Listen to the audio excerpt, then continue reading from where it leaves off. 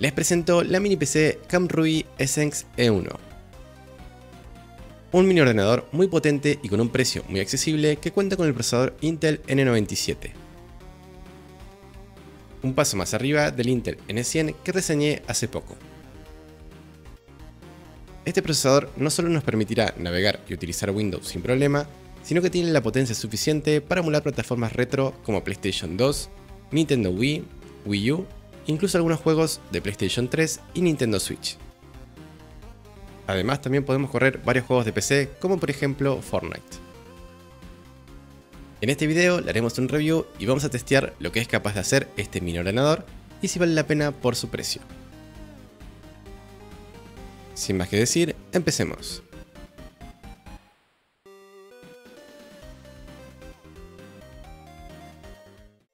Y en mis manos tenemos este mini PC. Vamos a analizarlo rápido ya que lo que más interesa es el rendimiento. Tenemos la CPU Intel N97, que cuenta con 4 núcleos a 3,6 GHz y un consumo muy bajo de 15 watts. Y como GPU integrada tenemos el Intel UHD, con una frecuencia máxima de 1200 MHz. Este mini PC cuenta con 16 GB de RAM DDR4 y 500 GB de almacenamiento interno. La mini PC al frente cuenta con dos puertos USB 3.0 y jack 3.5. Por la parte de atrás tenemos HDMI 2.1 que soporta hasta 4K 120 Hz y DisplayPort 1.4. Tenemos otros dos puertos USB y el puerto para la fuente de corriente.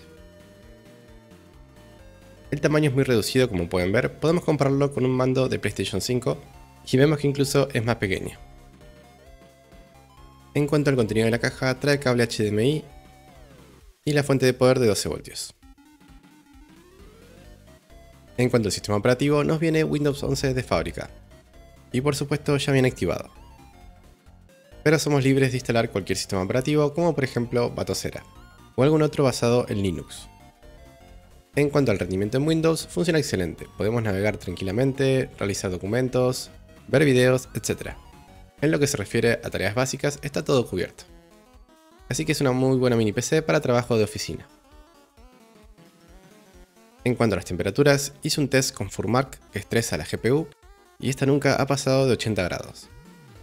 Así que podemos quedarnos tranquilos que la mini PC no se sobrecalentará. Y además de esto es muy silenciosa. Vamos a comenzar con pruebas de emulación. Y para esto les comento que instalé Retrobat que es una aplicación que nos permite tener todos los simuladores en un solo lugar, con una interfaz muy bonita estilo consola. Así que la conecté a la TV, conecté un mando y ya podemos jugar. La instalación es muy sencilla, podemos buscar varios tutoriales de YouTube. Vamos a empezar directamente por GameCube, ya que esta mini PC es lo suficientemente potente para emular consolas antiguas. Y en cuanto a GameCube, tenemos un rendimiento espectacular a 3 veces la resolución nativa, que significa 1080p nativos y realmente se ve increíble. Así que en esta mini PC podemos jugar todo el catálogo de GameCube sin problemas.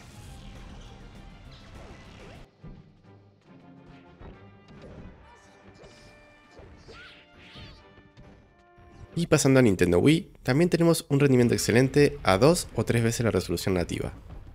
Esto depende del juego. Pero se nota una mejora con respecto al N100 que movía estos juegos a resolución nativa. Así que sí, el N97 es bastante más potente.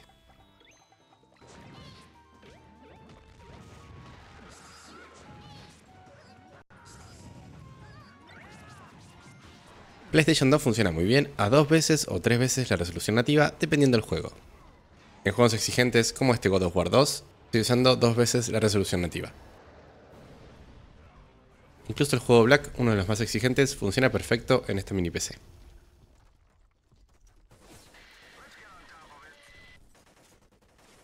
Y ahora pasamos a Nintendo Wii U, que estaremos jugando a resolución nativa. Mario Kart 8, por ejemplo, funciona a 60 FPS. Con algunos microcortes, pero esto es porque está compilando shaders. Luego, Zelda Wind Waker HD funciona perfecto a 30 FPS estables.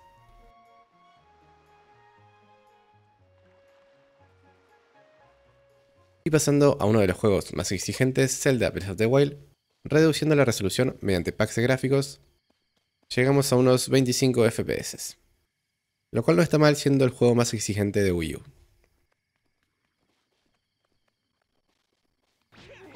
Y seguimos con PlayStation 3.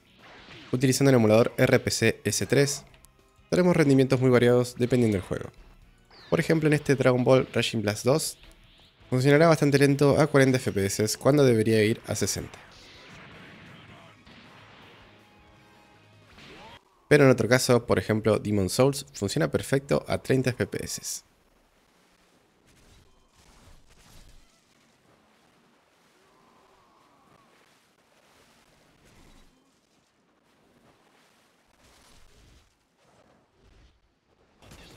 Otro ejemplo de juego que funciona bien es el Devil May Cry 4.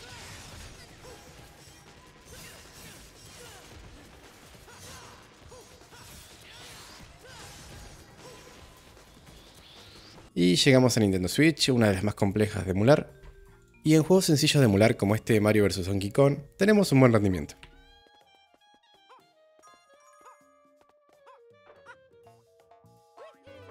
Lo mismo con Pokémon Let's Go, que es un juego también sencillo de emular y tenemos un rendimiento perfecto.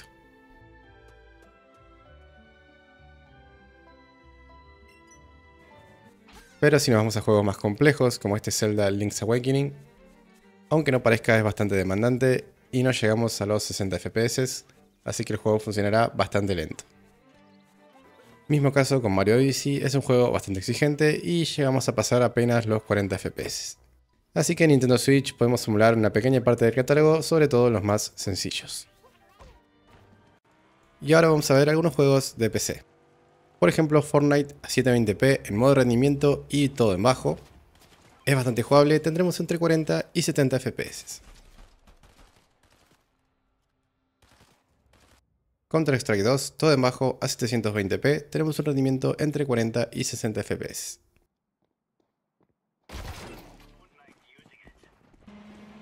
Luego, juegos más antiguos como Grid tenemos más de 80 FPS a 720p en medio.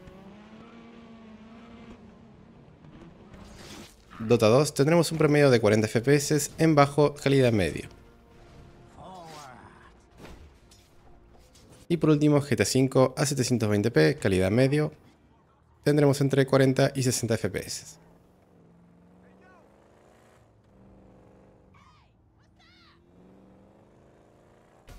Entonces, ¿vale la pena este mini PC? La potencia del N97 me sorprendió bastante. Tenemos un ordenador que funciona perfecto para navegar por Windows y demás. Y también nos sirve para emular muy bien consolas retro a excelentes resoluciones. Con lo que es posible armarse una mini consola perfectamente. Además podemos jugar varios títulos de PC, incluso juegos bastante nuevos. El mini PC cuesta 160 dólares en su versión de 16 GB de RAM y 500 GB de almacenamiento. Se compra por Amazon y hacen envíos internacionales. Por ejemplo, si sos de Argentina, podés pedirlo tranquilamente. Les dejo un código de descuento en la descripción que les va a ahorrar un 5% de la compra. Muchísimas gracias por ver el video, dejen su me gusta y suscríbanse para más contenido de este estilo. Me voy despidiendo, nos vemos.